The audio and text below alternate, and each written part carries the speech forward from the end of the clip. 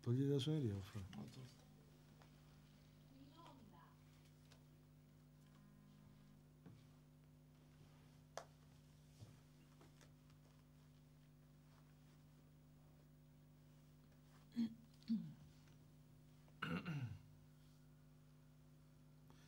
Siamo in diretta su Telesalento, proseguiamo il nostro appuntamento odierno. Stiamo parlando di questa bella manifestazione che si è svolta sabato in piazza Santo Ronzo.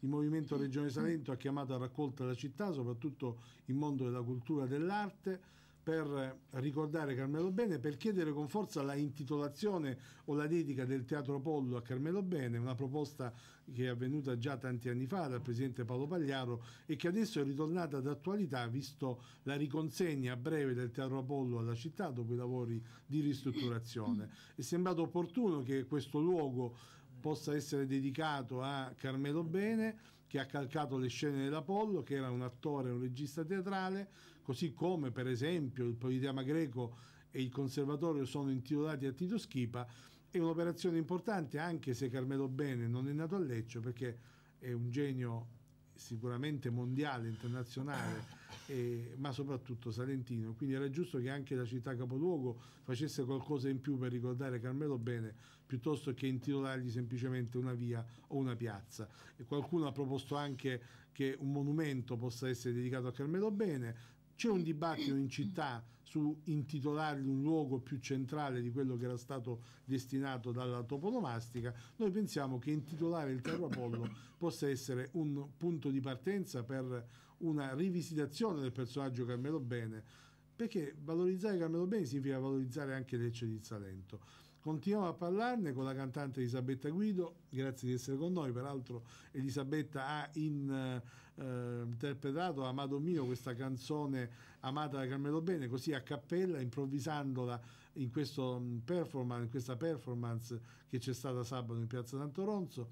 Ringrazio Giampiero Personè che da tempo, insomma, eh, anche lui agitatore culturale del nostro territorio, ci sta dando una mano in questo importante progetto di rivalutazione dei personaggi illustri della nostra terra e ringrazio soprattutto per essere ritornato con noi qui in diretta l'artista Antonio Massari, amico personale di Carmelo Bene, che ehm, ci sta aiutando anche a conoscere meglio questo personaggio. Allora, partiamo proprio da Antonio Massari per raccontare l'evento di sabato che idea si è fatta Antonio Massari di questa iniziativa di sabato scorso? ci sono cose che eh, su Carmelo Bene io non conoscevo, io che sono stato fra i primi amici nel gruppo dei quattro amici pittori nei quali Carmelo Bene si è formato, come il fatto che lui eh, dunque adorasse il fiore bianco di Giglio, il garofano bianco, il garofano bianco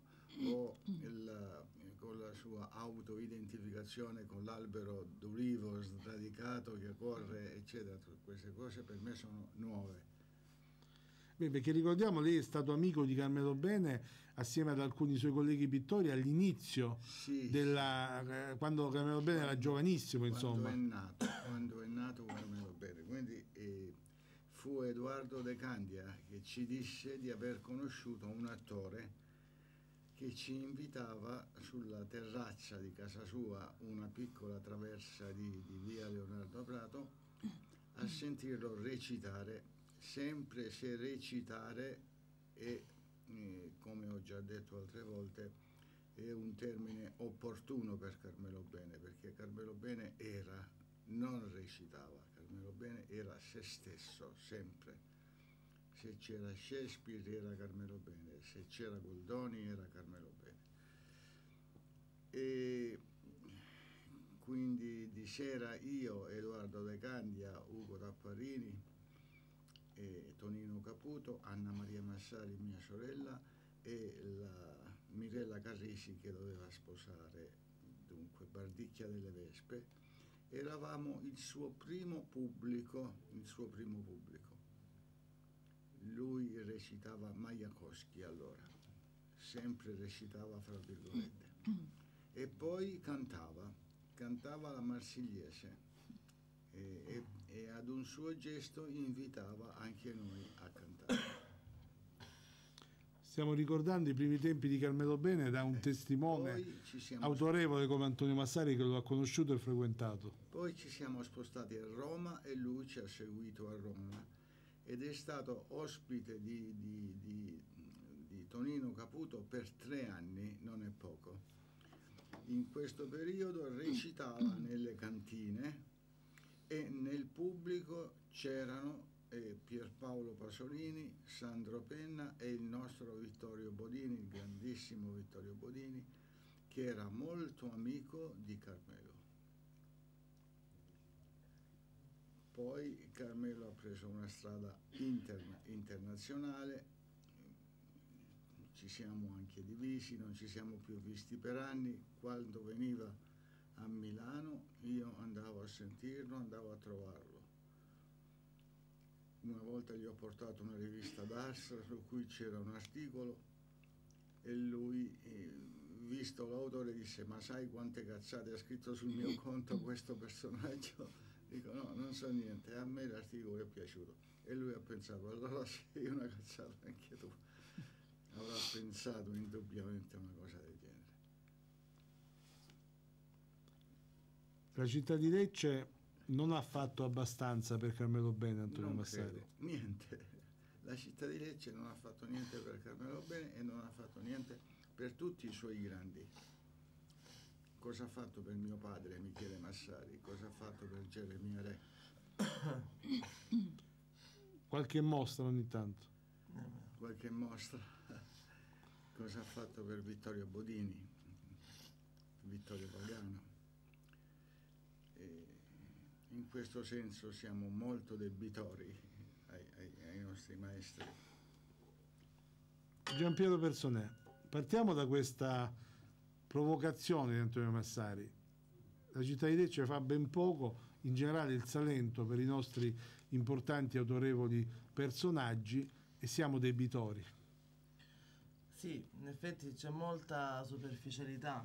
Sostanzialmente si è detto anche prima, no, con, lo ribadiva Vittorio Tapparini, che c'è eh, un po' di superficialità nell'affrontare questi maestri, insomma, questi eh, protagonisti dell'arte a livello nazionale e internazionale. Mm, probabilmente perché non si conoscono, non se ne conosce la profondità, la, le- la grandezza, per cui non si va ad indagare. Oppure è proprio una, una questione di pigrizia. Ma non parlo di una pigrizia eh, qualsiasi, parlo proprio di una, di una pigrizia eh, intellettuale, per cui non ci si sforza nemmeno, no?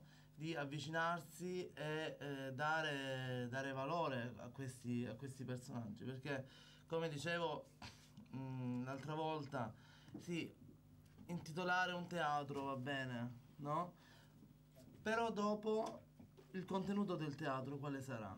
Cioè, mm, andrà, sarà in linea un attimo con l'idea di Carmelo Bene Teatro oppure io vedrò una programmazione simile ad altri teatri dove magari lo stesso Carmelo Bene non approverebbe, per dire, no? È un- una considerazione, voglio dire, semplice. Per cui eh, credo che la città ancora non sia pronta perché viva, vive di un suo provincialismo che la, la distrugge totalmente. E oggi, per esempio, mentre venivamo qui, eh, Maestro Massari mi indicava il portone dove è nato Carmelo Bene. Io non sapevo dove fosse. Non c'è una targa, non so Dove ha vissuto? dove ha vissuto, dove è nato, proprio, no? No, No, è, dove ha è nato a Campi È nato a Dove Campi. sì, Ma scusa, poi dove- è, è venuto in una traversa di via Leonardo Prato, Via alle, degli Antoglietta, Ecco. nei pressi dell'Arco di Prato. al- alle spalle del tribunale, insomma, del vecchio tribunale. Per cui c'è da fare un lavoro proprio sulla, su ogni singolo personaggio, dare valore e eh, sicuramente anche Elisabetta Guido che è qui può dirci quanta difficoltà magari può avere un artista eh, locale che magari fa, ehm, conduce un proprio percorso anche interessante, diverso, particolare, quanto è difficile affermarsi ed essere seguita nonostante no? eh, il valore che gli viene riconosciuto a livello nazionale, eccetera. Elisabetta Guido, eh, tu sei una cantante, il mondo del canto ancora più variegato, insomma, forse troppi cantanti, troppe scuole, troppi improvvisati maestri di canto senza titolo nel nostro territorio, ma insomma il discorso culturale in generale ti appassiona, peraltro sei stata protagonista di questa manifestazione di sabato. Sentiamo anche il tuo commento. Mio commento, eh, prima di tutto sono un'estimatrice di Carmelo Bene da sempre, dicevo anche l'altro giorno che mio papà giocava con lui, giocava perché erano i primi anni dell'adolescenza. E pare che Carmelo Bene assegnasse delle parti a tutti quanti gli amici, dovevano improvvisare teatro mentre giocavano, quindi diciamo, da sempre questa grande passione e l'ho ammirato nell'interpretazione dei canti orfici di Campana, la sua lettura dell'infinito è qualcosa di incredibile, io invito soprattutto i ragazzi ad andare a, su YouTube, visto che c'è tanto adesso, no? che abbiamo questo grande mezzo che è YouTube, ad andare a, a, vedere, non solo ad ascoltare, come anche i suoi dibattiti surreali durante il Maurizio Costanzo Show, no? eh, erano così interessanti. E mm, naturalmente ciò che manca e mi associo a tutto ciò che è stato detto fino ad adesso è proprio l'educazione di base a questi, a, a questi interpreti moderni, e, ma in generale a partire dalle, dalle scuole primarie. E io parlo per il mio settore perché chiaramente è quello in cui sono più ferrata e dico che gli insegnanti di musica, per esempio, della, delle scuole medie, come credo anche gli insegnanti di storia dell'arte, no? Giampiero Personè, e, e delle scuole medie e superiori abbiano una grandissima responsabilità perché è da lì che si comincia ad apprezzare l'arte al di là di ciò che si vede su Rai 1 o su Canale 5 in televisione, che purtroppo il ragionamento che senti fare è sempre quello. Io sono una jazzista sperimentalista e quindi, come diceva Giampiero, da queste parti non trovo una grande risposta eh, da parte delle istituzioni principalmente, perché poi... Eh, a proposito del fatto che il Salento però è sempre aperto ad imparare, cioè la gente, io sono convinta che la gente vada educata, io posso raccontare di uno spettacolo che è stato autofinanziato da Sofia Capestro, una mia carissima mm. amica che eh, è una manager internazionale della danza e vive a Parigi. Eh, lei autofinanziò uno spettacolo eh, nell'anfiteatro romano in cui c'erano due eh, grandi eh, coreografi eh, uno di Berlino e l'altro di Parigi, che eh, avevano preparato 20 ragazze a muoversi su qualunque base musicale creata al momento da me e da altri musicisti. Noi improvvisavamo seguendo i movimenti della danza e le danzatrici improvvisavano seguendo la musica che noi li creavamo al momento. Ora eh, si trattava chiaramente di free jazz, di, di, di qualcosa di fortemente sperimentale e che di solito viene apprezzato soltanto nella Mitteleuropa, se non che invece dopo 27 minuti di questo spettacolo scattò un applauso pazzesco. Allora io dico, la gente, i leccesi, i salentini, eh, non, non, sono così chiusi e così co- provinciali come noi pensiamo, sono aperti ad imparare, però le istituzioni devono finanziare i progetti che non siano quelli soltanto commerciali e con un ritorno di soldoni, altrimenti resteremo sempre allo stesso punto. Stiamo parlando di questa iniziativa interessante di sabato, di questa proposta venuta qualche anno fa da Paolo Pagliaro di intitolare il Terropollo a Carmelo Bene, della manifestazione di sabato per eh, raccontare Carmelo Bene e chiedere con forza questa intitolazione. Cosa pensi? Come verrà recepita questa proposta? Che sensazione stai avendo Elisabetta? Io credo che sarà recepita bene, laddove però riusciamo anche a fare una campagna anche televisiva, perché no, visto che Telerama, Telesalento sono così seguite, in cui si faccia conoscere la figura di Carmelo bene. La gente risponde bene se conosce. Chiaramente poi se si trova l'intoppo nelle istituzioni, e questo è un problema piuttosto grosso. E però insomma spero, spero nell'apertura mentale dei nostri amministratori, cosa devo dire? Antonio Massari ci ha detto siamo in debito con tanti personaggi importanti. Eh, sì. Ma è possibile che Lecce, che ha questa ricchezza culturale, eh, che ha questo patrimonio, il Salento, che è una miniera veramente da questo punto di vista, non riesca poi a fare quadrato? Dobbiamo importare gli attori, gli artisti, le statue, le installazioni da fuori, magari spendere tanti soldi per fare mostre di importanti artisti stranieri e non valorizzare quello che abbiamo sul nostro territorio.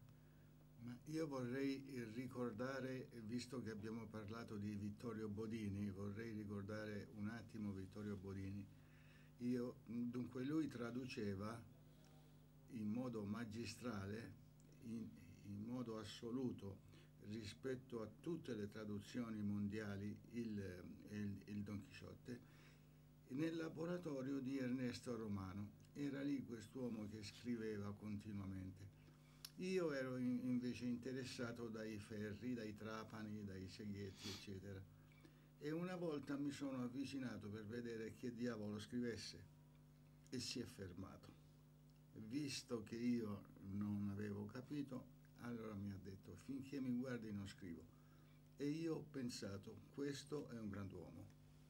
E questo sarebbe stato poi il grand'uomo del, del, dunque La Luna dei Borboni, un libro splendido di poesia e la traduzione, ripeto, la migliore traduzione mondiale del Don Chisciotte. Non so se Carmelo Bene abbia mai affrontato il personaggio di Don Chisciotte. No, non so questo. E, e dunque Carmelo Bene e Vittorio Bodini diventarono molto amici. Vittorio Bodini frequentava le cantine dove eh, Carmelo Bene i primi passi eh, a Roma, a Roma c'era Sandro Penna e poi Pierpaolo Pasolini. Poi ci siamo perduti di vista. Oggi, quando i miei amici vengono da Milano o da Bergamo, mi chiedono di andare a vedere la casa a Campi Salentina dove è nato, che purtroppo è stata ristrutturata e non è più quella di una volta dove è nato lui, è stata rimodernata. Fa niente. Il luogo è quello. Ci stavi raccontando delle frequentazioni Carmelo Bene all'inizio della sua, chiamiamola così, carriera. Sì.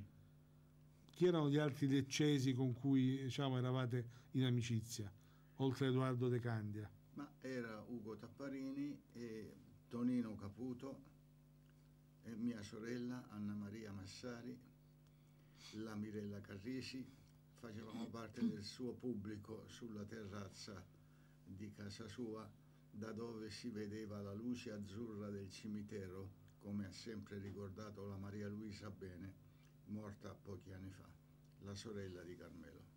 Siamo stati a trovarla ripetutamente.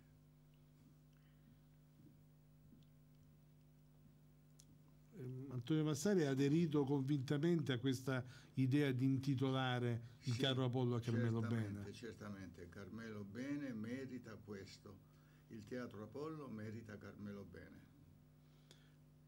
Anche se c'è qualche voce contraria, come Ma, al solito. ma perché? Perché? Non abbiamo altri eh, personaggi della statura di Carmelo Bene da poter eh, dedicare al, al teatro, al teatro Apollo.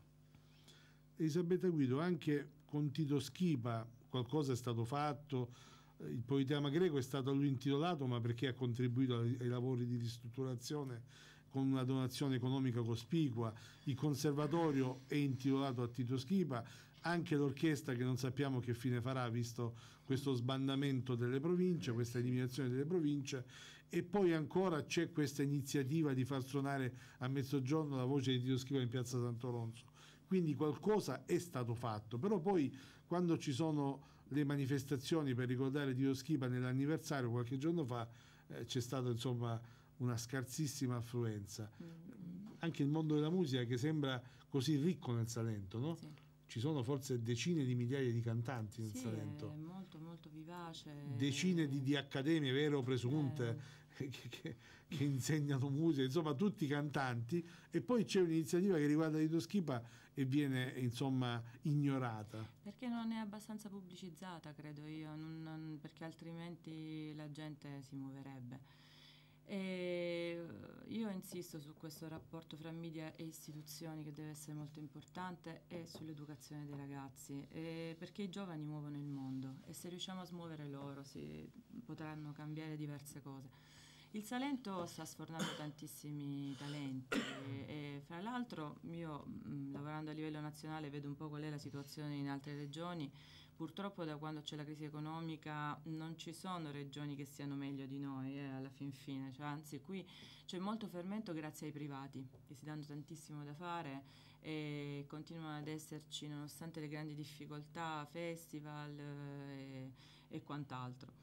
E quindi diciamo la situazione è generale, come ad esempio io parlo del mio settore eh, come jazzista, hanno chiuso in tutta Italia tantissimi festival jazz per mancanza di soldi. Purtroppo l'arte è la prima a soffrire in queste situazioni.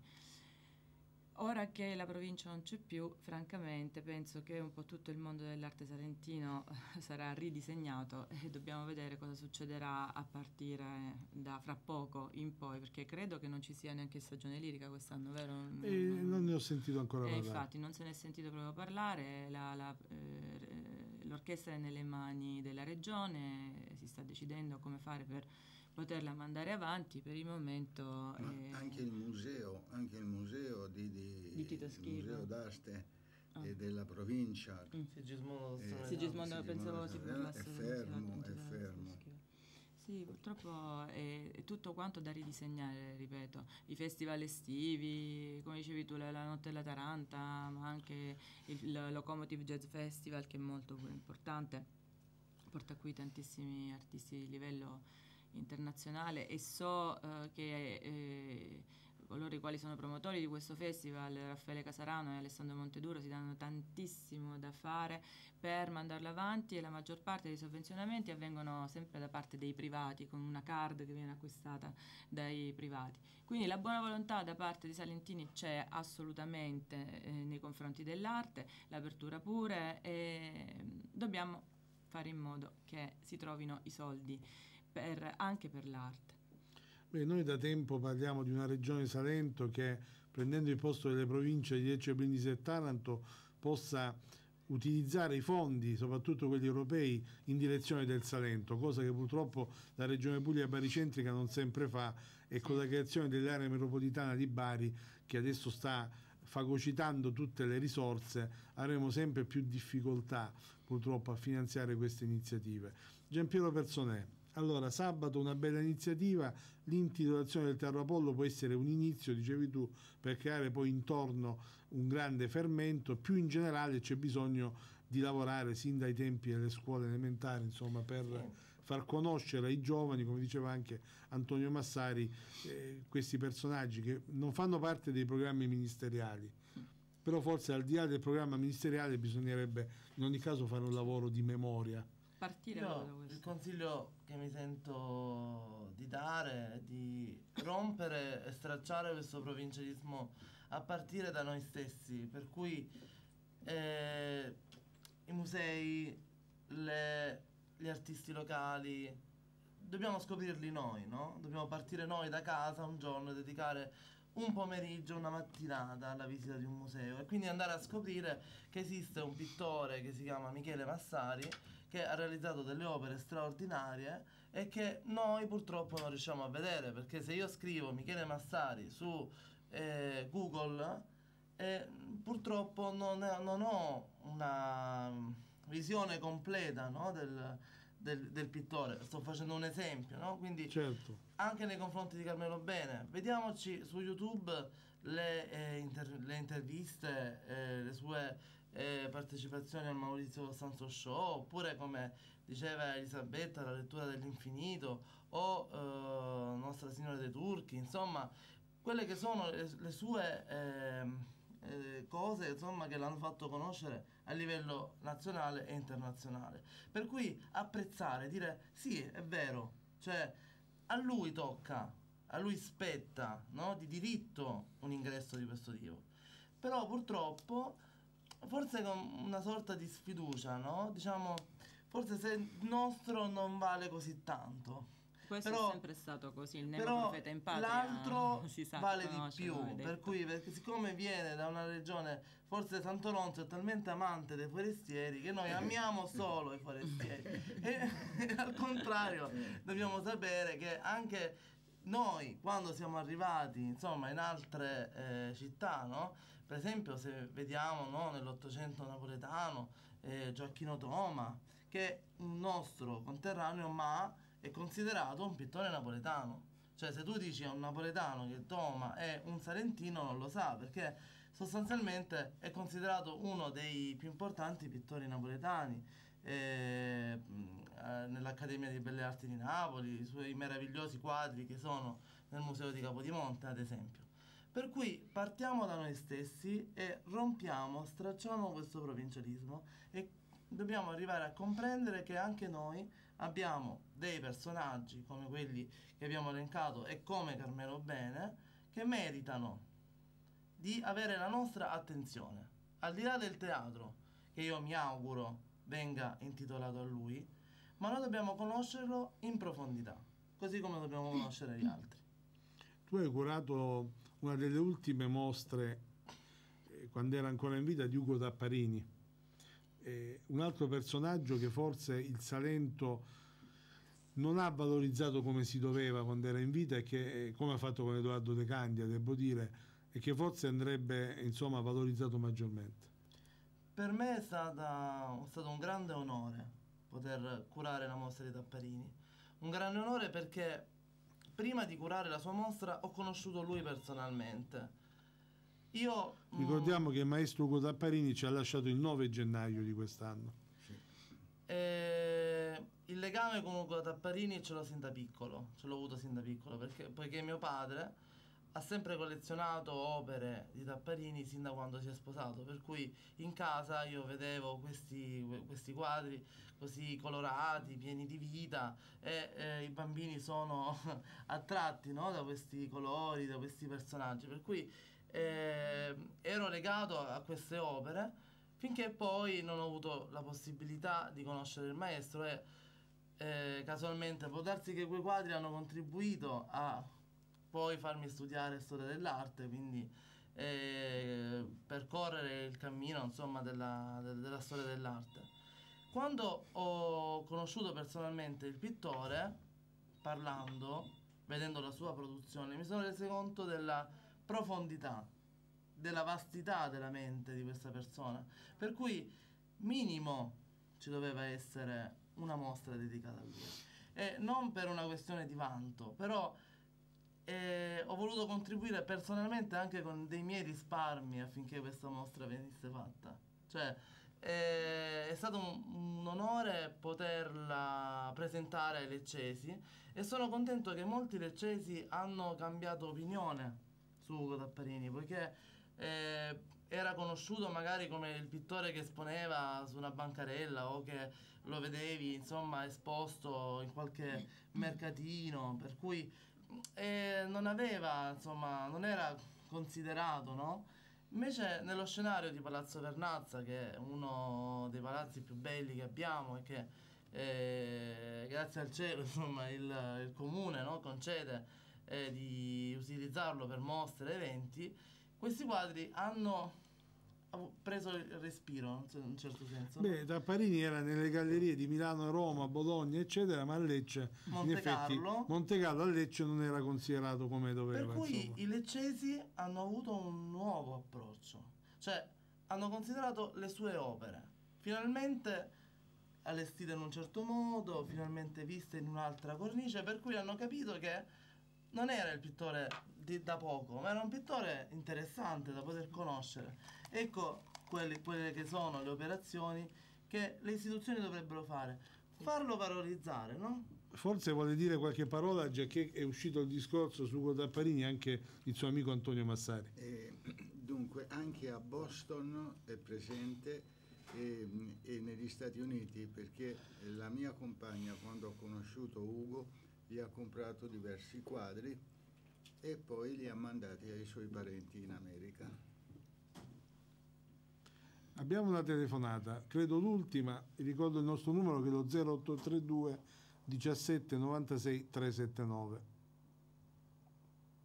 Pronto? Direttore, io sono un po', eh, direttore, Prego. un po' razionale. Se non ci fosse stato lei, o se non ci fosse lei, no? Con la sua emittente, con la sua teletalento, mi dice un po' quando io avrei conosciuto o ascoltato la, la persona che ha al suo fianco a sinistra, gli altri due, gli altri due ospiti, il- un signore, la Massari che sta in fondo. Ecco, quando mai sarei riuscito io, cittadino del Salento, che amo tanto l'arte, ho vissuto per oltre 46 anni in Firenze, ma diciamo in una forma attiva con, con uomini grandiosi, bene, cioè direttori di conservatori e direttori di, di- di musei importanti, però non conosco io queste tre persone, c'è il ragazzo, il giovane al centro, che è bravissimo, è preparato, però noi nei 97 comuni della provincia di Lecce, nelle 28 frazioni che se stessero in Piemonte o nel Veneto sarebbero comuni, perché sono delle frazioni grossissime. Ecco, mi dice un po' quando io avrei conosciuto queste persone che parlano così bene, delle, delle, degli, degli artisti, non so come definirli, mi aiuti lei, degli artisti salentini e di quello che hanno fatto in ogni parte d'Italia e d'Europa potremmo dire. Ecco, mi dice un po' quando mai io avrei potuto ascoltare Massari, quando avrei potuto ascoltare eh, l'altra signora che non ricordo. Elisabetta No. Guido, Eh, Giampiero Personè e Antonio Ecco, Massari. Elisabetta Guido, eh, sa, sa- che significa? Che significa? Sono delle cose molto ma molto importanti. Cioè noi c'è un diaframma, egregio direttore, c'è un diaframma fra la classe dirigente e il cittadino e poi diciamo le istituzioni, provincia, comune, eh, circoscrizioni, lei si affanna a dire ma le province non esistono più. Direttore mi, mi permetta di dirle che soltanto un decreto legge e un decreto legge non sono state cancellate, tanto è vero, altre province hanno chiesto un intervento a livello professionale. Bene, Avvocato Nicoletti, no- non apriamo un dibattito sulle province. La ringrazio per il suo intervento e anche per No, il va bene, fatto... d'accordo. No, no, però per- lei non deve essere sfiduciato, non deve essere, perché lei fa tanto per il Salento e la, e la provincia di Lecce è stata una delle, delle- delle prime ad accettare la- la- il decreto mini- il decreto presidenziale, presidenziale della Presidenza del Consiglio. Ecco, Le altre province d'Italia, molte, molte, non l'hanno proprio accettato. Grazie Avvocato, grazie. Noi cerchiamo di fare il possibile per far conoscere questa terra e anche il mondo dell'arte, questa battaglia per rivalutare i tanti personaggi illustri che abbiamo nel Salento. Sulle province le dico sì, è vero che ancora non sono state cancellate completamente, ma di fatto quando non pagano più le bollette della luce alle scuole e non finanziano alcuna attività culturale e sono dei, eh, dei carrozzoni aperti senza alcun potere vero, non hanno neanche i soldi per una lampadina, mi dica lei a cosa serve avere ancora la provincia. Quindi eh, purtroppo le province, io dico, non ci sono più perché non funzionano più. Grazie però per il suo contributo interessante. Eh, Elisabetta, io vorrei chiudere con Elisabetta Guido che ci ha regalato Amato mio a cappella. Eh, una cantante anche famosa, nota come te, deve anche sapere improvvisare qualche volta, no? Sì, come è stato Deve sabato. spendersi, deve spendersi per la cultura. Tanto con il jazz sperimentale siamo abituati a improvvisare. Ed è stato un bellissimo regalo che ci hai fatto. Speriamo che ci siano tante iniziative come quelle di sabato Sì. per Carmelo Bene e non solo e speriamo che veramente si intitoli il Teatro Apollo a Carmelo Bene. Grazie ad Antonio Massari, grazie a Giampiero Persone e Elisabetta Guido. Continuate a seguirci in diretta dalle ore 11 del mattino o alle 21.30 nella replica, sempre su Telesalento, canale 73.